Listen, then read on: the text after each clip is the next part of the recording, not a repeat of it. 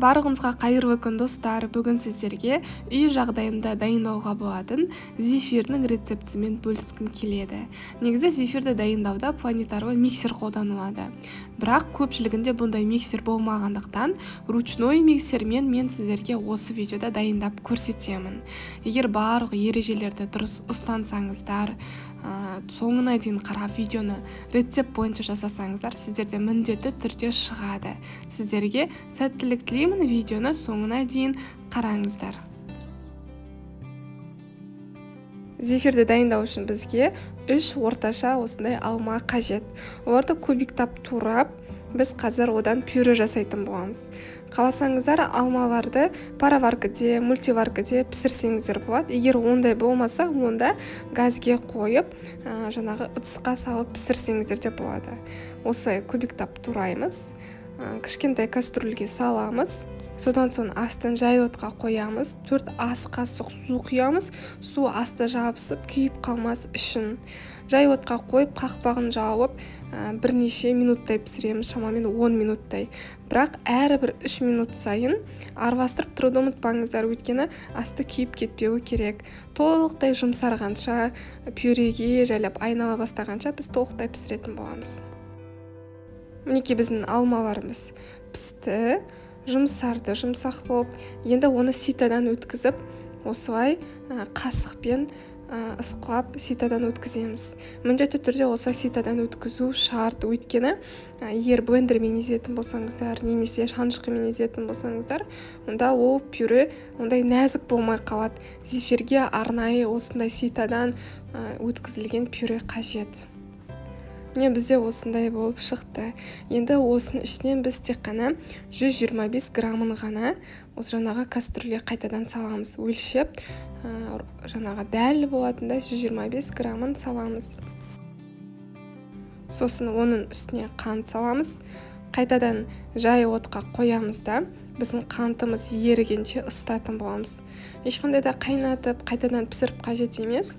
Бірнеше шамамен 5 минуттай ұстаймыз. Ең бастысы біздің қантымыз еруі керек. Біздің пюреміз кішкене сұйықтанады қантымыз ериді содан соң оттан түсіреміз. Міне қараңыздар қантымыз еріген кезде осындай консистенцияда болады. Енді бұны бөлме температурасына суытамыз кейін тоңазытқышқа салып қоямыз. Тоңазытқышта бір сағаттай тұрса жеткілікті. Егер сіздерде термометр болса онда 4 градусқа дейін салқындату қажет. Содан соң оны шығарамыз.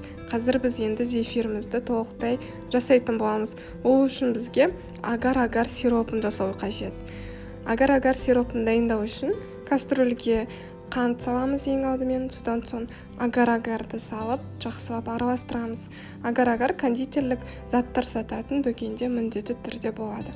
Жақсылап араластырған соң су құямыз және де лимон шырынын жаңағы бір ас қазығын сығып саламыз. Орташа отқа қойып қайнатамыз. Міндетті түрде әрбір минут сайын араластырып тұрыңыздар. Өйткені агар-агар күйіп кетпеуі керек. Дәл осы уақытта біз алма шырынын алып салқындатылған алма шырынын бөлек ыдысқа саламыз. Және де оның үстіне ақуызды салып қазір біз пена болғанға шейін өзінің формасын керемет болып ұстағанға шейін миксермен шайқайтын боламыз. Кәдімгідей ақуызды шайқаған кезде формасын жақсы қатты ұстайды ғой дәл сондай қылып біз шайқауымыз керек. Бірақ осы уақытта да біздің пісіп жатырған яғни қайнап жатырған агар агарымызды да араластырып тұруымыз қажет. Міне планетарлы миксер негізі осы үшін қолданылады. Біздің ақуызымыз бен алма пюресі езіліп ә, жаңағы пенаға айналып жатырғанша біз агар агарды да араластырып тұру үшін қажет. Екеуін осылай міндетті түрде бір уақытта істеуіміз керекпіз. Видеодан көргендеріңіздей біздің агар-агар сиропымыз қайнап бастап жатыр жайлап. Тағы да жақсылап араластырамыз.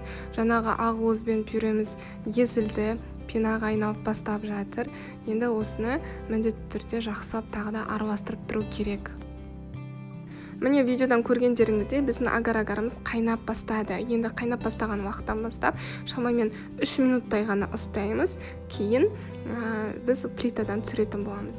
Егер сіздерде термометр болса міндетті түрде 110 градусқа дейін жеткізіңіздер. 110 градустан асырмау қажет.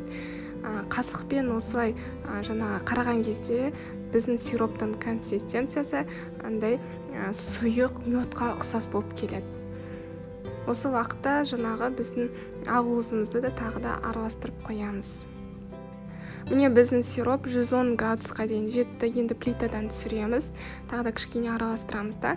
Осы біздің жаңағы шайқалған ақуыздың үстіне жайлап құйып отырып миксермен шайқайтын боламыз. Міндетті түрде плитадан түсірген бойда бірден құю керек. Ыстық күйінде. Өйткені біздің агар агар сиропымыз қоюланып қоймалжың болып кетуі мүмкін. Ыстық күйінде құйып осылай толықтай араластырамыз. Қиып болған соң да біздің ақуызымызды формасын ұстағанға дейін араластыру қажет. Төңкерген кезде қатты ақпауы керек осындай болып тұрады. ә, егер сізде планетарлы миксер болса онда формасын одан да қатты ұстайды. Әрине ручной миксерден кішкене сұйықтау болып шығуы мүмкін. Бірақ сонда да зефиріміз міндетті түрде шығады әрі өте дәмді болады. Енді осында кондитер қапшығына саламыз. Басына өзіңізге ұнайтын насадканы салсаңыздар болады. Менің насадкамның нөмірі 333 ә, мен қазір ақ түсті қылып жасап жатырмын. Осы ә, біздің зефиріміздің жартысын осы кондитер қапшығына ақ түсінен саламын кейін краситель қосам гелевый бояғыш қосып араластырамын да жаңағы осындай қызғылт түсті зефир жасайтын боламын.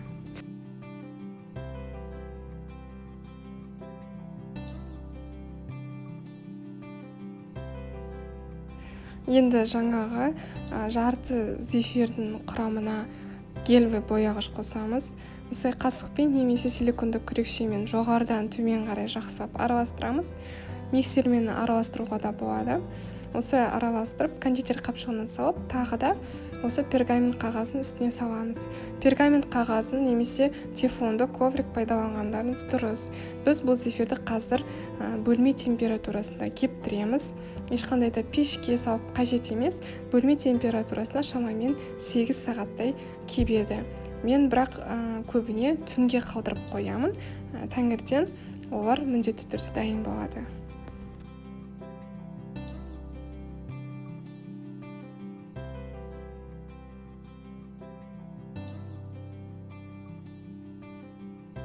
Мінекей біздің зефирлеріміз шамамен 8-9 сағаттай тұрды.